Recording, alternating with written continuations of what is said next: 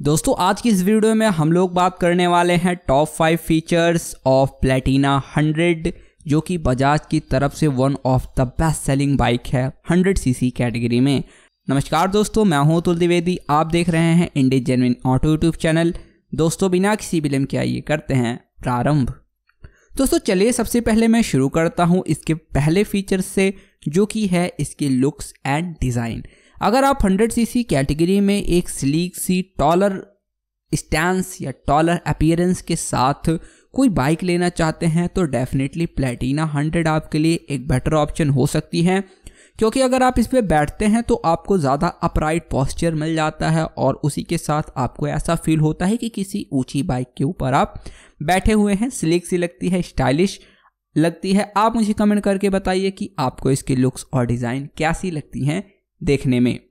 चलिए दोस्तों, बढ़ता हूँ मैं इसके नेक्स्ट फीचर की तरफ़, जो कि काफ़ी ज़्यादा इंपॉर्टेंट फीचर है, वो है सेकेंड इसका परफॉर्मेंस और इसका कंफर्ट अगर आप यहाँ पे कंफर्ट की बात करता हूँ सबसे पहले तो कंफर्ट के मामले में इसमें फ्रंट में आपको टेलीस्कोपिक सस्पेंशंस देखने को मिल जाते हैं।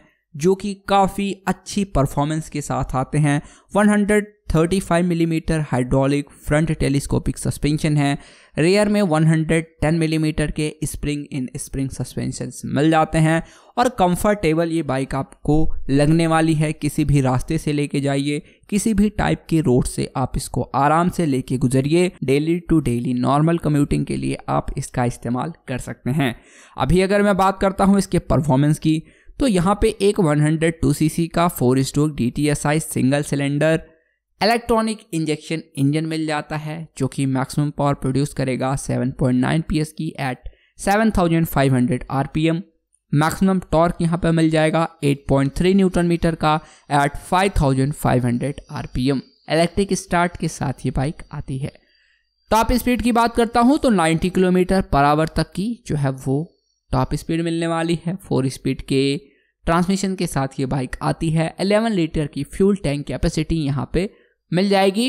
एक चीज़ यहाँ पे और बेटर हो सकता था कि ट्यूबलेस टायर मिल जाता तो और ही ज़्यादा अच्छा होता, पर मे भी प्राइस फैक्टर की वजह से यहाँ पे आपको ट्यूब टायर ही मिलता है। अच्छी खासी ग्राउंड क्लियरेंस यहाँ पे मिलेगी, जो कि है 200 मिलीमीटर mm की तो काफ़ी अच्छी ग्राउंड क्लियरेंस मिलती है।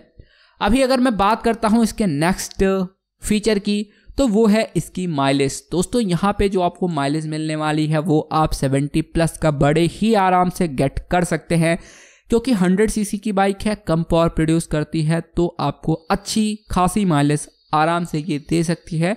माइलेज हमेशा हर वीडियो में मैं कहता हूँ कि आपके ऊपर डिपेंड करता है। 40 से 60 तक इकोनॉमी में अच्छी तरीके से राइड करेंगे तो बेटर माइलेज देगी अगर आप ज़्यादा रफ राइड करेंगे रफ करके राइड करेंगे तो कम माइलेज देगी। ये डिपेंड करता है हाउ यू राइड एक्चुअली अब चलिए बढ़ते हैं हम इसके फोर्थ फीचर की तरफ़, जो कि है इसकी यूटिलिटी दोस्तों यूटिलिटी के मामले में आपकी प्लेटिना हंड्रेड जो होने वाली है, वो उसके पास एक बहुत बड़ा एज है कि आप इसको चाहे कम्यूटिंग के लिए, चाहे ऑफ़िस जाने के लिए, या फिर डिलीवरी का काम करने के लिए, या फिर कहीं आने जाने के लिए, सामान ढोने के लिए, यानी किसी भी आप वर्क में, किसी भी प्रोफेशन में, किसी भी सिनेरियो में, किसी भी सिचुएशन में इसका इस्तेमाल, इसका यूज़ कर सकते हैं। मेंटेनेंस कम होने वाली है तो खर्चा भी कम होने वाला है।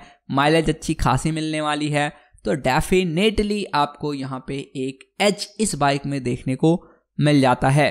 अब आते हैं हम अपने फिफ्थ फीचर की तरफ़, जो कि है इसकी प्राइसिंग तो इसकी एक्स शोरूम प्राइस जो आपको मिलने वाली है, दोस्तों, वो आप एक्सपेक्ट कर सकते हैं। इसके बेस वेरिएंट के लिए somewhere around sixty five thousand rupees के आसपास। और इसकी ऑन रोड प्राइस दोस्तों, जो जाने वाली है, जो आपको मिलने वाली है, वो क्लोज टू आराम से आपको मिल जाएगी एट्टी थाउज़ेंड रुपीज़ के आसपास। तो आप कमेंट करके बताइए कि आपको ये बाइक कैसी लगी है कौन कौन से फीचर्स इस बाइक के आपको पसंद आए हैं।